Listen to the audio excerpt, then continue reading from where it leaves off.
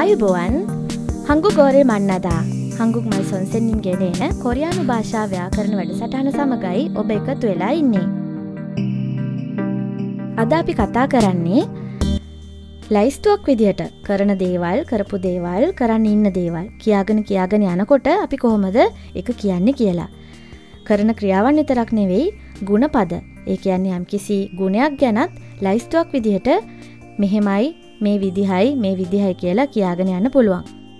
සිංහල භාෂාව අපි මේක කරලා අරකත් කරලා මේකත් කරලා ඔය විදිහට කියනවා. කොරියනු භාෂාවෙන් මේ ලා වලට සමාන වෙන්නේ ගෝ කියන ප්‍රත්‍යය. ඉසෙල්ලම අපි බලමු ක්‍රියාපදයකට ගෝ එකතු වෙන හැටි. ඔයාලා සතියන්තී මොනාද කරන්නේ. මම සාමාන්‍යයෙන් සතියන්තේ නං ගෙදර ඉඳගෙන ගෙදර අස් කරනවා රෙදිහෝදනවා උයනවා ඒ විදිහට මගේ වැඩ ටික කරගන්නවා. ඔයටි අපි කියමුකු සාමාන්‍යෙන් කරන දේවල් නිසා. ජුමාරේ චොංසෝ හදා පල්ලේ හදා ශ්‍රිදා ඔය දේවල් අපි කරනවා මොක ලැයිස්තුවක්. කොහොමද අපි මේ ක්‍රියාපද ඔක්කොම එකට කියන්නේ එකතු කරලා කියන්නේ. අරලා ගෝ කියන ප්‍රත්‍ය අපි යොදන්න ඕනේ. චොංසෝහා කියන ක්‍රියාධාතුවට ගෝ එකතු කරා පල්ලෙහා කියන ක්‍රියාධාතුවට ගෝ එකතු කරා. අවසානයටන ක්‍රියාපදයට ඒ අවස්ථාව හැටියට අර්ථය අනුව ප්‍රත්්‍යය යොදන්න ඕනේ. චොංසුහා ගෝ පල්ලෙහා ගෝ ශිමිදා ශියෝයෝ ඔය විදිහට අගට ප්‍රත්්‍යය දාලා අවසාන කරන්න පුළුවන්. මම සති අන්තේ ගියස් කරලා රෙදිහෝදලා විවේක ගන්නවා. ජොනෙන් ජුමාරේ චොංසෝහාගෝ පල්ලෙහාගෝ ශිම්මීදා ඔය විදියට වාක්‍ය සම්පූර්ණ වෙනවා. දැම්බලමු අපි ගුණපදයක් එක කොහොමද මේ ගෝ යොදන්නේ කියලා. ඒ ගෙදර මිදුල ලොකුයි. කාමරත් ලොකුයි.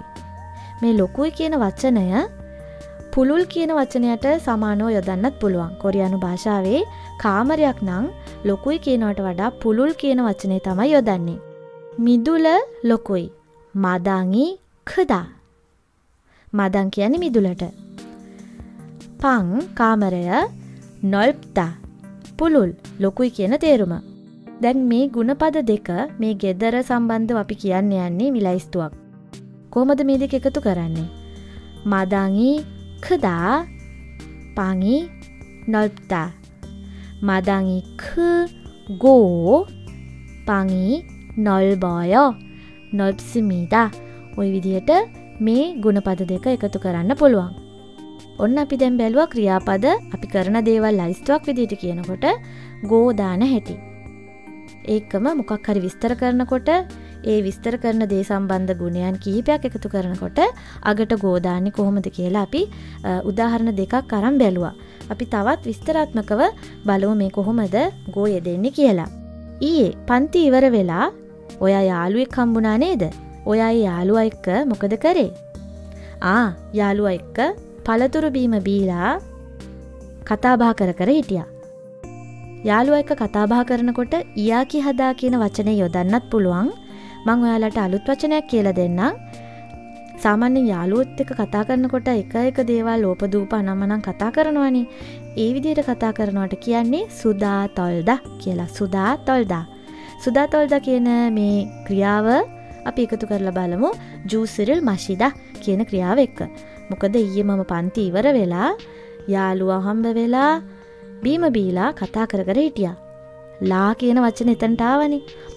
ජූසිරල් මශී ගෝ සුදාරල් තෝරස්සායෝ. සුදාරල් තොල්දා කියන එක අතීත ප්‍රත්්‍යයදාලා කිව්වා. ඊය වෙච්ච දෙයක් නිසා. ඔන්න බලන්න අතීත ප්‍රත්‍යයත් එක්ක එනකොට අවසාන ක්‍රියාපදයට අතීත ප්‍රත්‍යය දෙන්න ඕනි.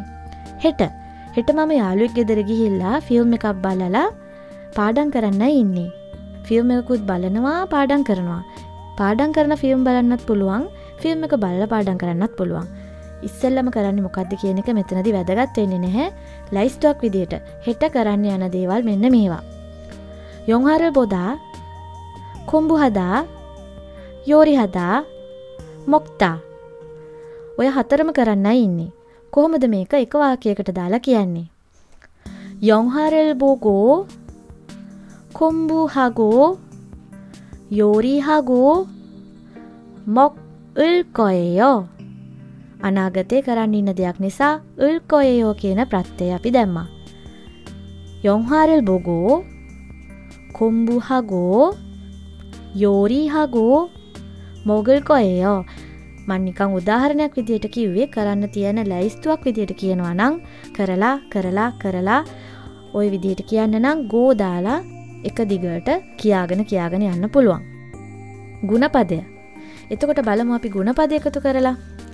අපේ අයියා උසයි කඩවසම් ලස්සනයි. පිරිමියට ලස්සනයි කියලා කියන වචනය චල්සෙන්ක්‍යොත්තා චල්සෙන්ක්‍යොත්තා කියන වචන. යෙප්පදා කියලා කියන්නේ නැහැ. චල්සෙන්ක්‍යොත්තා කියලා තමයි කියන්නේ. කිගක්හදා චල්සෙන්ක්‍යොත්තා අපේ අයියගේ මේ ගුණයන් දෙක අපි එකතු කරලා කියනවනම් කෝමද කියන්නේ. කිගක්හදා ගෙන යෙදුමේ කදා ගුණපදයට ධාතුවට එකතු කරනවාකෝ කිගක්හගෝ චල්සෙන්ක්‍යොස්සෝයෝ මේක අතීත කාලයෙන් තියෙන්නේ. චල්සෙන්කින් මිදා එහෙම කියන්න හැ චල්සෙන්ක්‍යොස්සෝයෝ ද ඉපදිලා නින්නේ. එයා දැනටමත් එයා ලස්සනයිනි. එහින්ද අතීත කාලෙන් තමා කියන්න ඕනේ. චල්සෙන් ගොස්සායෝ තව එකක්. මේ පළතුරු ඇඟටත් හොඳයි රසයි. කොහොමද කියන්නේ? ඇඟට හොඳයි ඇඟට ගුණයි. ඇඟට හිත කරයි කියන්න නම් මොම්මේ ජොත්තා කියන යෙදුම යොදනවා. මේකත් ඔයාල මතක තියාගන්න ගොඩක් වෙලාවට පාවිච්චි කරන නිසා. මෝමේ ජොත්තා ඇඟට හොඳයි කියන තේරුම. මශිත්තා රසයි. කොහොමද මේ ගුණයන් දෙක එකතු කරන්නේ 몸에 좋고 맛있어요. 이 과일은 몸에 좋고 맛있어요. 이 과일 මේ පළතුර ඊ කියන්නේ මේ කියන තේරුම 과일 පළතුර 이 과일은 몸에 좋고 맛있어요. ඇඟට හොඳයි විතරක් නෙවෙයි රසත් තියෙනවා. ওই විදිහට එකතු කරලා කියන්න පුළුවන්. දැන් ඔයාල දන්නවා ක්‍රියාවන් ලැයිස්තුවක් විදිට කියාගෙන කියාගෙන යනකොට සාමාන්‍යින් කරන දෙයක්ද? ඊය වෙච්ච දෙයක්ද?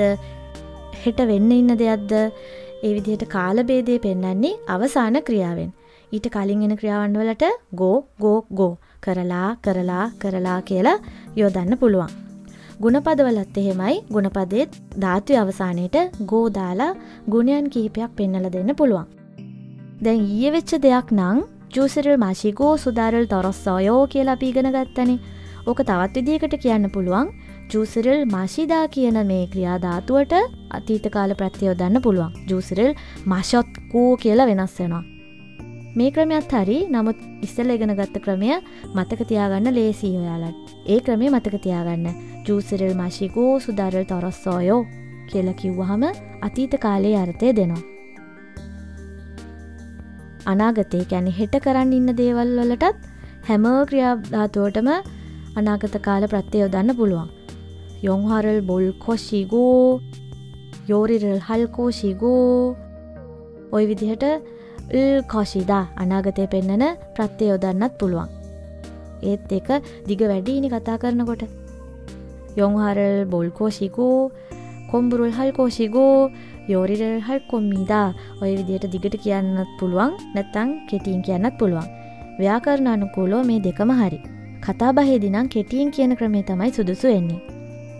දැන් ඔයාලා ගෝ යොදලා එක එක විදිහට ලැයිස්තුවක් විදිහට කියාගෙන කියාගෙන යන විදිහ දන්නවා කියලා මං හිතනවා. ඊය කළේ මොනවාද අද කරන්නේ මොනවාද හෙට කරන්න ඉන්න මොනවාද ලැයිස්තුවක් හදලා ඔයාලත් පුහුණු වෙලා බලන්න